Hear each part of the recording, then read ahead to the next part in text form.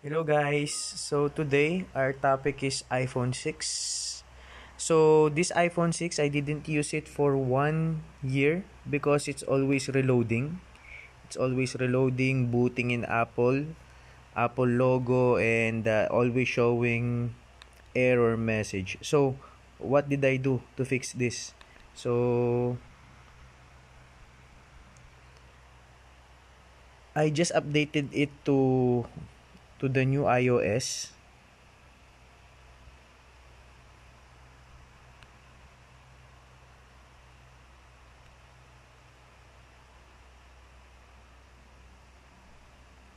See?